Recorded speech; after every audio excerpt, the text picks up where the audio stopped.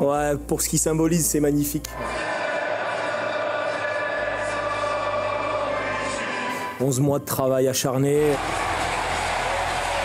Et puis finir en apothéose à la maison. Quel chemin parcouru, quelle fierté aussi d'avoir euh, fait vibrer cette ville. C'est de ça que les garçons doivent, doivent être le plus fiers, c'est euh, d'avoir euh, donné sur le terrain. Et, et, au final aboutir à cette montée, ce titre, c'est incroyable. Le Havre Athletic Club, champion de France de Ligue 2 2 juin 2023, le HAC est champion de France de Ligue 2 pour la sixième fois de son histoire.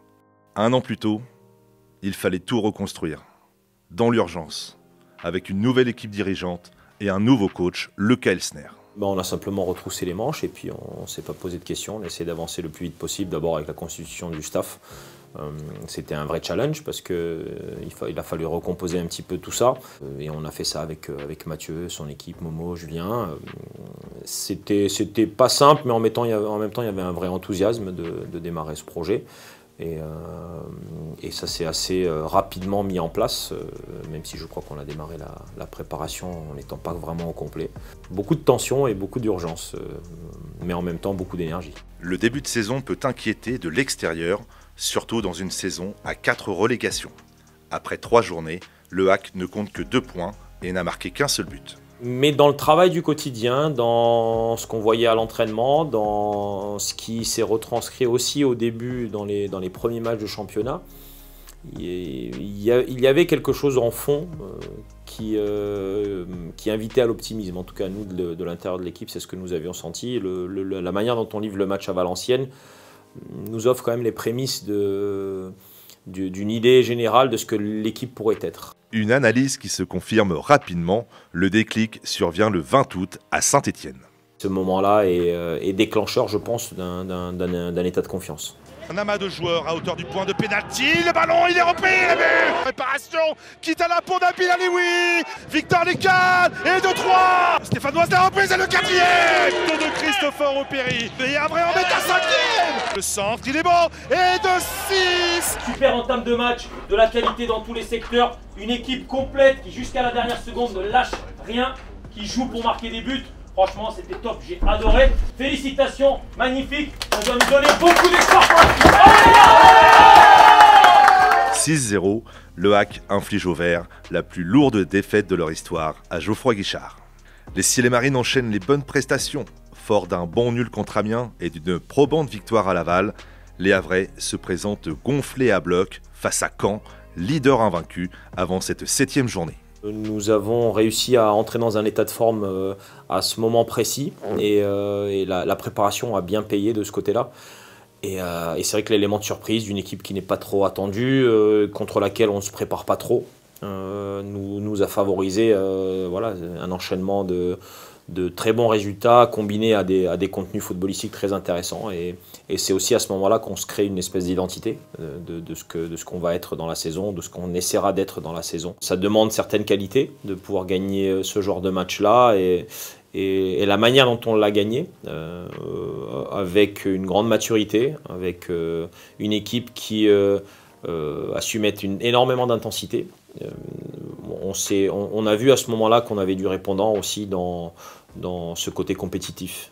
Victor Lécan qui s'allonge Oui L'ouverture du score Ce ballon dans la surface de réparation, le centre peut-être, le ballon qui traîne c'est cette mentalité de gagnant et, de gagner des moments importants. Euh, c'est euh, c'est certainement une référence dans la saison et, et- et ça nous a permis aussi d'ab- d'aborder euh, correctement les autres échéances dans, la suite de la saison. Gagner un derby, historiquement, ça représente quelque chose. Et, je pense qu'aussi ça, ça a généré chez nos supporters un regain d'énergie, un regain de fierté. euh, d'aller simplement soutenir l'équipe et supporter euh, cette, ce groupe de garçons. Et, et ça nous a servi pour pouvoir avoir une belle atmosphère par la suite de la saison. Une victoire bien sale, J'aime, j'aime, j'aime vraiment. On l'a pas joué jusqu'à aujourd'hui comme ça. J'adore ces victoires mode Ligue 2. Contre le, contre le leader, vous avez fait le taf incroyable, les mecs. Jusqu'au bout, jusqu'à la dernière seconde, tout le monde, on s'est battu comme des chiens. Ils ont un tir, ils ont eu une, une occasion. C'est la dernière. hein. On leur a rien donné. Même si dans le jeu, on était plus dur aujourd'hui, mais c'est normal. On enchaîne trois matchs comme ça dans une semaine. On a souffert ensemble. On a gagné ensemble. On commence à ressembler à quelque chose là au niveau du classement. Donc félicitations de tout mon cœur, tout le staff. Bravo les mecs Après cette victoire face à Caen, le Hack bondit de la 8e à la 4e place et enclenche une impressionnante série. Victoire à Niort et contre Annecy, succès concluant face à Bastia et Metz, nul à Dijon et Rodez. Arrive ce match à Diochon face à QRM, un moment marquant dans la saison. Restera le moment euh, où, on bascule en tête. Euh, C'était euh, loin d'être simple, mais aussi face à une équipe qui a mené la, vie dure à beaucoup d'autres équipes par la suite. On a gagné souvent de cette manière-là dans, dans la saison, tenir dans les moments difficiles, ne pas abdiquer, ne pas concéder trop de choses. Et puis piquer au moment juste où il fallait, avoir cette notion d'efficacité. Et puis après, il y, avait cette sensation globale que nous étions dans un, bon moment de réussite et que, quand, on avait besoin d'un moment favorable, ben, il se présentait à nous. Et, euh, et cette victoire euh, à Rouen euh, représente un moment, sympa, mais encore une fois, personne à ce moment-là se dit Ah, ben, on passe premier. là, il faudra plus lâcher la chose jusqu'à la fin de la saison. Ça n'a pas été si marquant que ça. Premier là, non Moi je crois qu'on est premier. On est premier là Oui, on est premier On est premier même. Dans la douleur. Oui. Bah, C'est un bon adversaire Oui. Avec les vraies valeurs.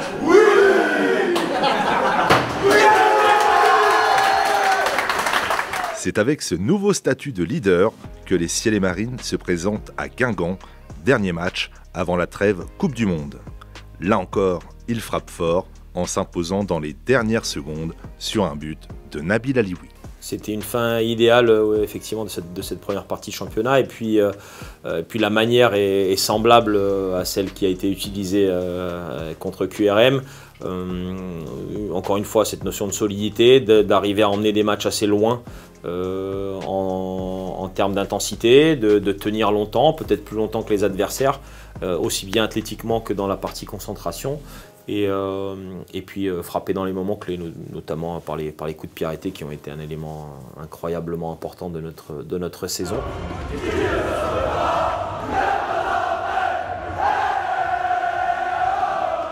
Et ce que vous êtes en train de faire, c'est incroyable. Donc félicitations à tous En tête après 15 journées, avec 4 points d'avance sur Bordeaux et 5 sur Sochaux, c'est avec le plein de confiance que les Ciel et Marines abordent la trêve et le stage à Agadir au Maroc.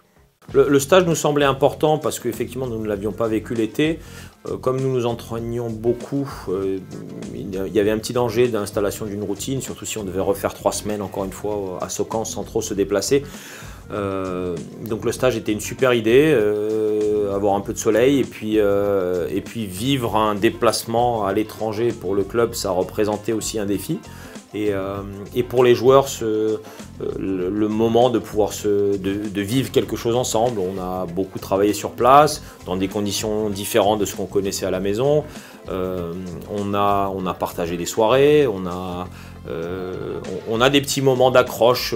on, a pu avoir quelques jeux après, les, après les repas du soir. Et, c'est là où le- le groupe se, se, se solidifie encore un petit peu plus, où on, trouve des repères différents. Et, je pense que ça nous a beaucoup, beaucoup servi de, vivre ce moment-là. Personne n'était capable de dire euh, quel effet euh, cela aura sur les organismes. Préparation là n'était qu'un euh, n'était qu'un réajustement par rapport à ce que nous avions déjà fait auparavant. Et cette base euh, nous, donnait, euh, nous donnait pas mal de confiance sur notre capacité à repartir fort euh, dès, la, dès la fin de la trêve. C'est le 26 décembre que reprend la compétition, une date inédite dans le foot français. Le stade Océane est à guichet fermé, une grande première en match officiel.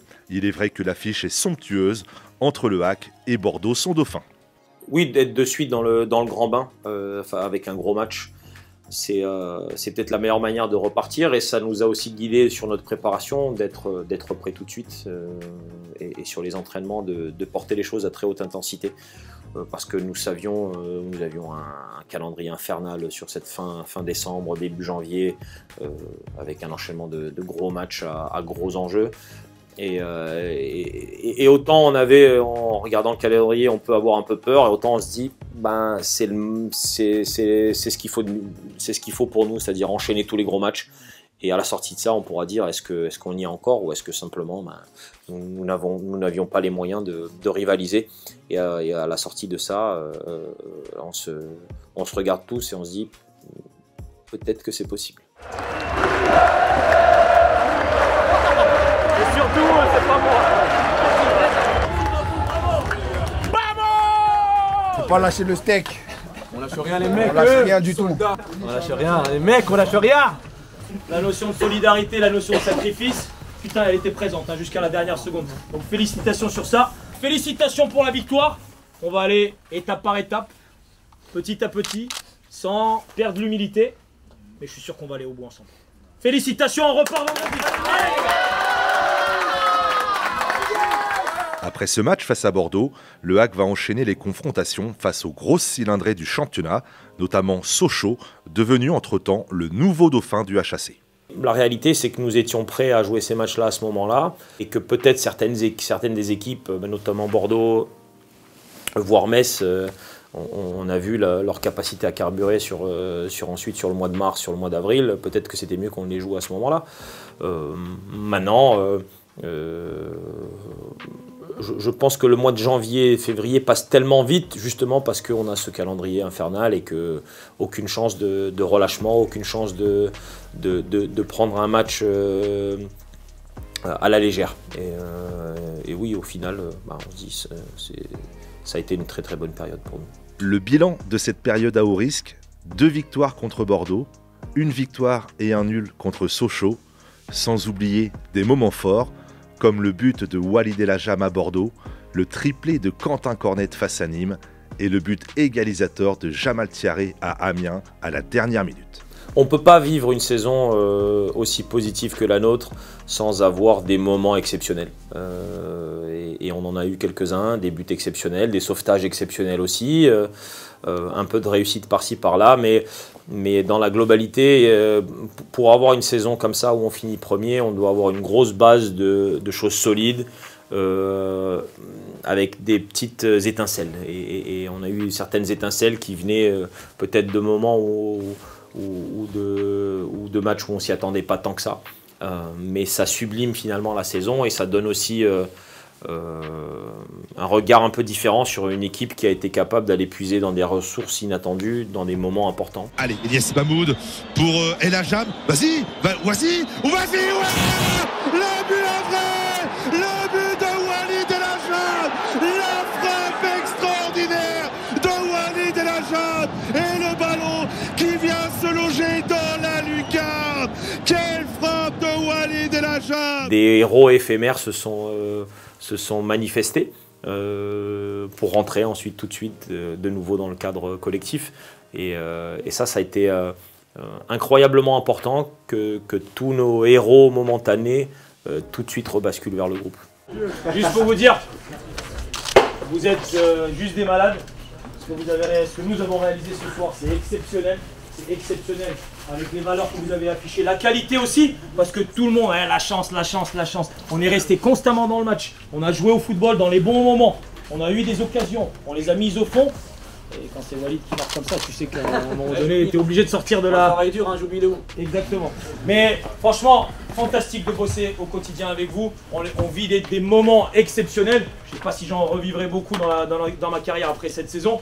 Mais voilà, beaucoup de fierté de travailler avec vous, beaucoup de fierté de travailler tous ensemble. Continuons à prendre du plaisir, continuons à bosser comme des chiens et laissons les autres parler. On a beaucoup de chance. Et eh ben on, avance, on va en avoir, jusqu'à la 38e journée. D'accord les mecs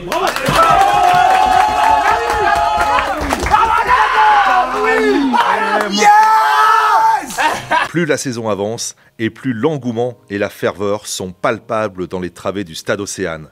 Le mouvement est enclenché. Les Ciel et Marines réussissent à entraîner toute une ville derrière eux. on l'a senti évoluer tout au, tout au long de la saison.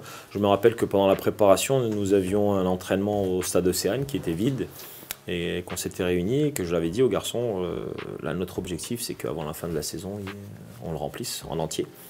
Et, euh, quand ce moment arrive, euh, je crois que le premier guichet fermé c'est Bordeaux, quand ce moment arrive, euh, finalement, euh, ça te permet de voir à quel point euh, les choses ont été bien réalisées par les garçons.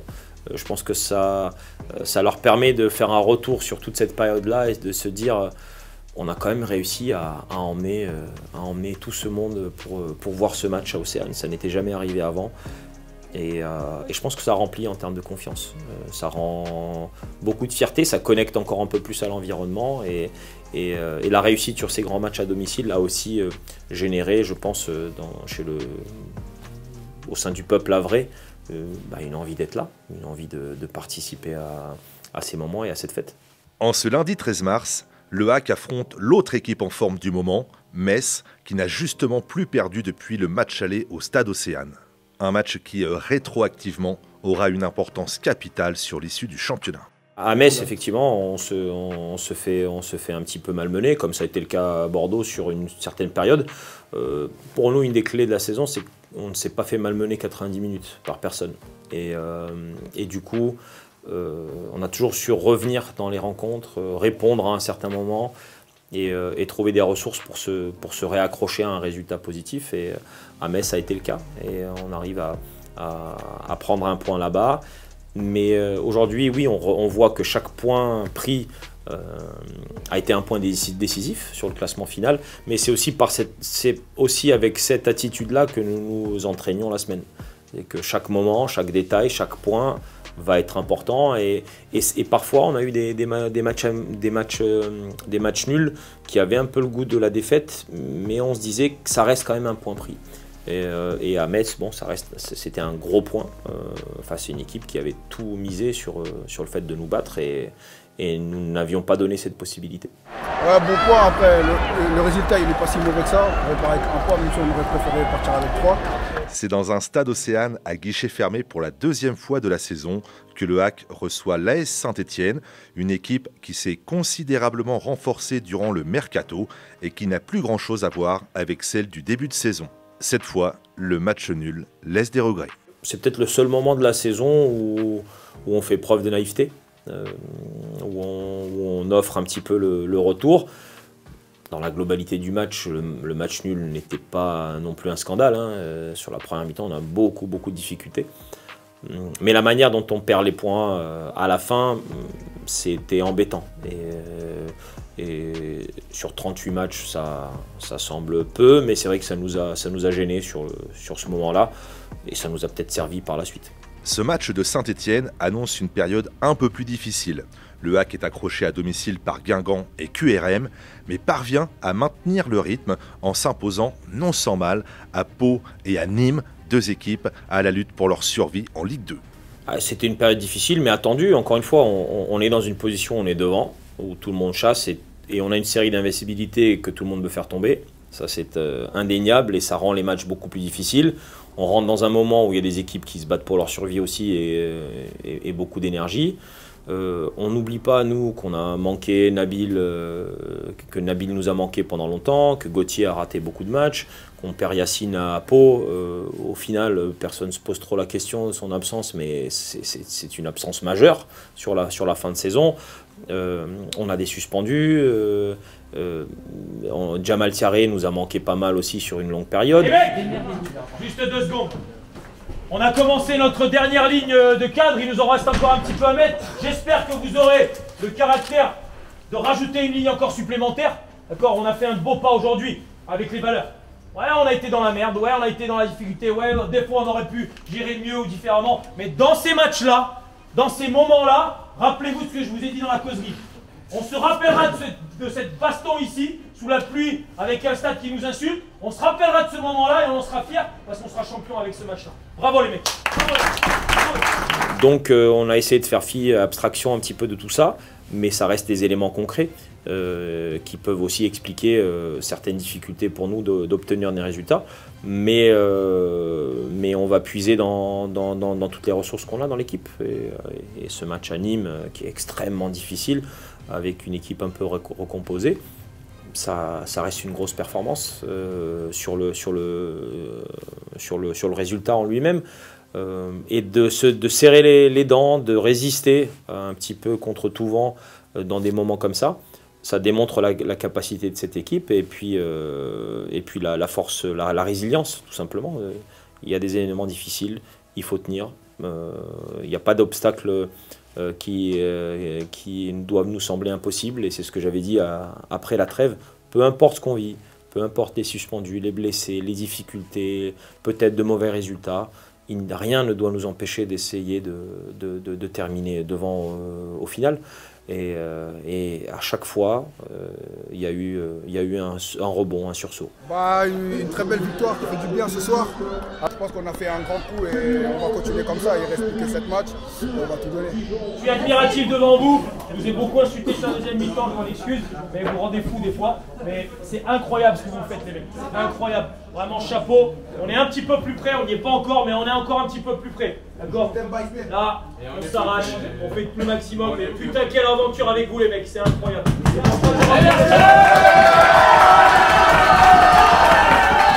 Avant le déplacement à Caen, le hack semble dans le dur. Les Ciels et Marines ne comptent plus que 6 points d'avance sur Bordeaux et 7 sur Metz. Si de nombreux observateurs voient déjà le hack chuter à Tornano, les hommes de Lucas Elsner vont une nouvelle fois démontrer qu'ils savent répondre présent lors des grands rendez-vous. Presque cette, cette narration nous aide un petit peu, euh, où tout le monde se dit bah, que ça serait, euh, ça serait sympa à raconter une histoire d'une équipe qui se casse un peu euh, la figure. Et, euh, et ça nous a aidé. Ça nous a aussi aidé euh, en janvier, en février, ou à l'approche de ces gros matchs où, euh, euh, bah, de toute façon, le hack, euh, ça, démarre toujours bien et puis ça finit toujours mal.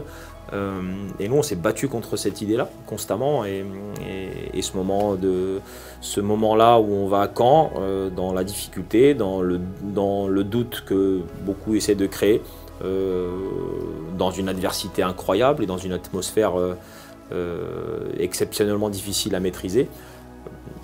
La réponse, elle est, forte. La réponse est forte et, ça, et ça démontre de nouveau la, capacité de, réponse de cette équipe-là, euh, avec un match vraiment propre de notre part. Euh, et, au final, euh, une, victoire qui ne souffrait pas de grandes contestations. Euh, et là, on remet les choses euh, euh, dans l'ordre qu'il fallait et au bon moment. Le corner de Nabil Alioui, la déviation de la tête peut-être de Lecal, ça revient sur Targali, la frappe à la.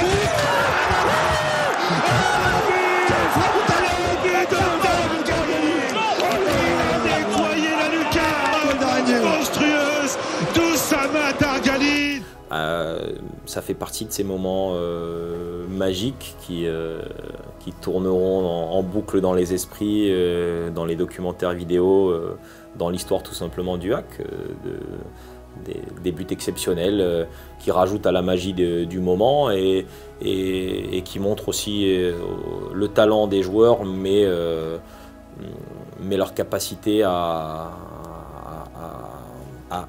sortir un petit peu de leur cadre habituel et de tenter des choses euh, un petit peu spéciales. Et, quand ça rentre à ce moment-là, ben, pour un garçon qui n'avait pas euh, une grande contribution jusqu'à maintenant, jus- jusqu'à ce moment-là, c'est cette petite étincelle supplémentaire qui, qui crée, euh, enfin, qui fait que le film est magnifique au, bout. Je suis très content.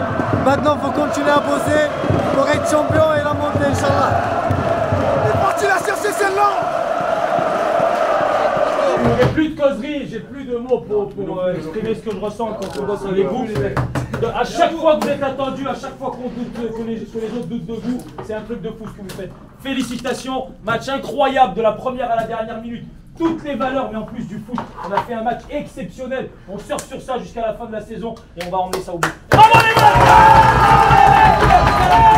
Dans la foulée de ce coup d'éclat à Caen, les Ciels et Marines, ultra dominateurs face à Rodez, doivent pourtant attendre les dernières minutes et un coup de pouce du destin pour arracher un nouveau succès. 88e minute, Chadli, c'est parti au premier poteau, la reprise de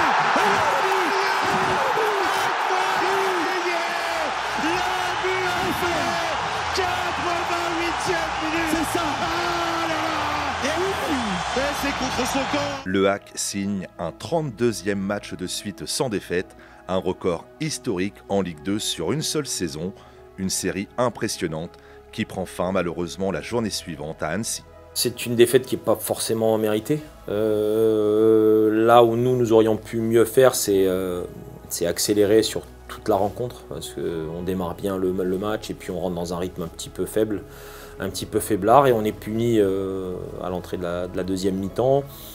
On fait vraiment le maximum derrière pour essayer de revenir, mais ça ne, ça ne rentre pas, ça ne passe pas. La tête de Gauthier Luris pour euh, Quentin Cornet avec euh, Bentoumi dans la surface.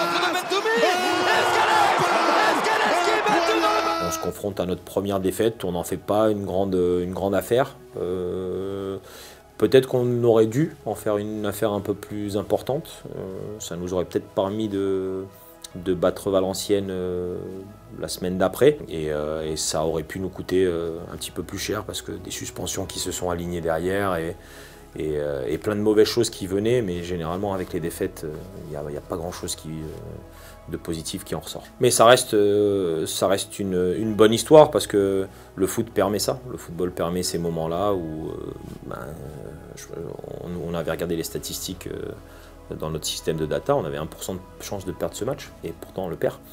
Et, au final, euh, c'est bien parce que cette notion euh, intouchable, euh, ça va aller au bout facilement et, le hack est déjà en Ligue 1, euh, ça, ça l'enlève d'un coup de pinceau comme ça sur une soirée, tout ça, ça part. Après cette défaite à Annecy, le Hack a l'occasion de valider sa montée en Ligue 1 face à Valenciennes, une première balle de match manquée.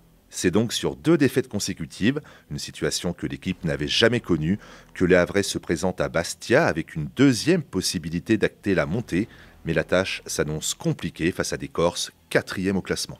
À Bastia, on arrive diminué parce qu'on a des suspensions qu'on traîne de ce match contre Annecy. On arrive diminué. On arrive euh, dans un contexte où l'équipe en face, elle veut absolument nous faire tomber euh, pour bien finir sa saison, sa saison à la, maison et puis surtout dans, un contexte de confiance, chose que nous, n'avions pas trop. Euh, et on se prépare à livrer un match euh, de combat, euh, d'avoir du répondant au niveau du caractère et, euh, de ne pas encaisser. On se dit que si on arrive à emmener ce match euh, très loin dans la deuxième mi-temps sans avoir enca- encaissé ni donné de trop grosses occasions, on aura l'opportunité de le gagner. Et, je, pense qu'au final, si on si on fait pas cette, cette combinaison d'erreurs qui nous amène euh, ce premier but encaissé, euh, nous l'aurions remporté ce match, je pense, sur la fin. Euh, mais voilà, il y a, y, a, y y a clairement eu un moment de doute et maintenant que tout est fini, je, peux facilement le dire, il y a 15-20 minutes où je me dis, là ça va vraiment poser problème. Euh, la, montée et le titre, euh, ça va être problématique.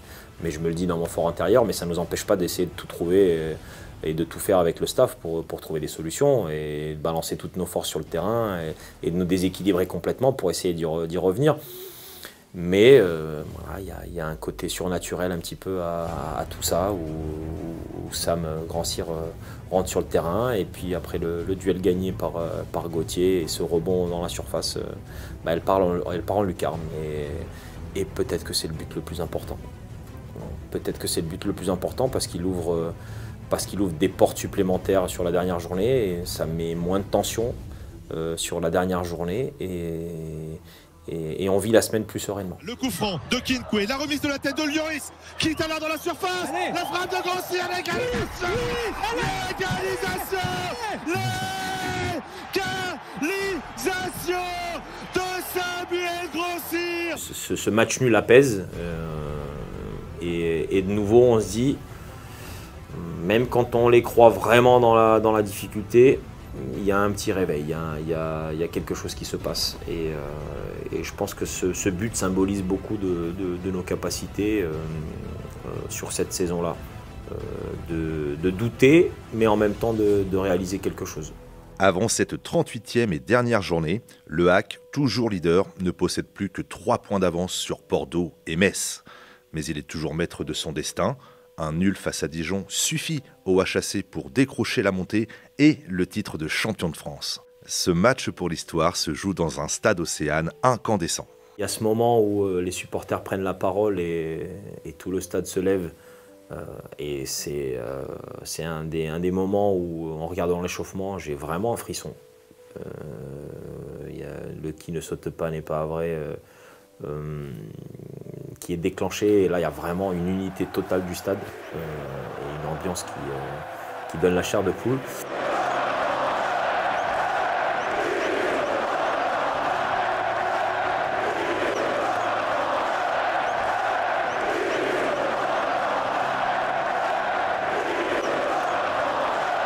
Cette ambiance-là, je me dis, bon là, si tu es sur le terrain, tu portes le maillot, tu vas commencer à jouer, ben, tes jambes, elles sont légères. Tu, sens de la force. Et puis, euh, et puis le premier ballon dégagé par Aruna, euh, qui est un contraste total avec euh, le début de match que, contre Valenciennes, où on sent que, les, que nos gars sont, là pour, pour gagner. Et, à ce moment-là, je sais que le match il part dans le bon sens et qu'on va avoir de grandes chances de le remporter. C'est aussi sympa d'avoir Josué Casimir qui marque après avoir été autant décrié sur ses capacités de, de, réalisation. Mais il marque ce but avec beaucoup de rage, avec une grande, grande force. Et, et, ça nous emmène dans la direction souhaitée. Pour cire, grand cire aux abords de la surface. Samir Richardson. Ah, il peut pas frapper. Non. Il retrouve euh, au péril le sol.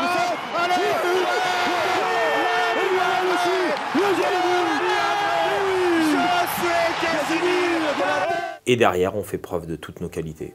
On ne donne pas d'occasion. On, est ultra solidaire. Beaucoup, euh, beaucoup font les efforts nécessaires pour que ça tienne, euh, du premier attaquant jusqu'à Arthur. Et, euh, on ne veut pas donner. On ne veut pas donner l'opportunité de se faire punir. Et, et, et là, on sent, on sent pas 20, 30 personnes dans le groupe, les joueurs, le staff, mais on sent vraiment une ville qui, qui, tient ensemble pour, pour accéder à ce, à ce rêve. Mais coup de théâtre à 30 secondes de la fin, alors que le hack tient sa montée sur un coup de sifflet de l'arbitre, des supporters croient en la fin du match et envahissent le terrain. La rencontre est interrompue pendant 20 minutes. Ça a été long, de, ça n'aurait pas dû arriver euh, parce qu'on passe pas loin d'un désastre. Euh, et, nous, on, et nous, avec les 11 mois de travail acharné, ce que les garçons ont donné, euh, tous les sacrifices nécessaires, euh, c'est un moment où tu dis mais c'est pas possible c'est pas possible pour 30 secondes, euh, au bout de 15 années d'attente, il reste 30 secondes à attendre. Et, c'est pour ça que je rentre dans une. Je me transforme parce que je sens que c'est critique et qu'il suffisait d'un mauvais geste d'un moment donné pour que, pour que ça se finisse très très mal. Donc oui, c'était des moments de, de, de grande angoisse toute notre euh, saison est à l'image de, ça, c'est-à-dire difficulté jusqu'au dernier moment dans les, derniers instants. Et, finalement, le hack time, il est symbolisé par, ça. On va au bout du suspense. Tout finit par rentrer dans l'ordre sans le moindre incident. Le match peut donc reprendre, mais pour une seule seconde, en l'absence des Dijonais restés au vestiaire, le hack est champion et retrouve la Ligue 1. Nouvel envahissement de terrain, cette fois la fête peut commencer au stade Océane, puis dans les rues du Havre le lendemain. À ce moment-là, on, euh, bah, partage ce bonheur avec eux et, en même temps tu te dis, bah, ça paye euh, tous les efforts euh, fournis par tout le monde jusqu'à jusque-là et puis surtout ça te dit, bah, j'ai envie de revivre le plus de fois possible ces moments-là parce que l'être humain est fait pour partager des émotions euh, positives avec les, avec les autres et c'est dans ça qu'il euh, se, euh, se retrouve le plus complet. Et, donc ce moment de célébration est, absolument génial. Ce que je retiendrai le plus, c'est les moments de simplicité. C'est en tout cas pour moi les, les matinées avec le staff à préparer, à rigoler, les, les les, déplacements à l'extérieur, au, fin fond de la France, euh, puis de se retrouver le soir euh, à discuter de tout et de rien euh, avec, avec toute, toute l'équipe technique, le staff, le staff médical, avec les, les, séances difficiles avec les joueurs. En fait, c'est tout notre quotidien. et moi, je retiens, je retiens ce parcours, cette aventure quotidienne, ces, ces moments de simplicité. Euh, où les liens se créent, où le groupe se forme. J'ai presque la larme aux yeux quand je, parle, quand je pense à, notre groupe. Euh, les joueurs euh, ont été extraordinaires. je suis tellement fier d'avoir d'avoir vécu ce truc avec eux.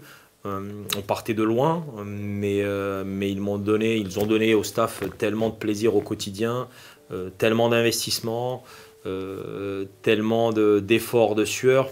Et, euh, et, puis la qualité d'une relation humaine, euh, on s'entendait très bien et quand on s'entend très, bien, euh, c'est pas compliqué de, de, pouvoir leur rentrer dedans quand ils en ont besoin, mais aussi beaucoup de beaucoup d'amitié, beaucoup de, de, liens très resserrés et, et, beaucoup de sincérité.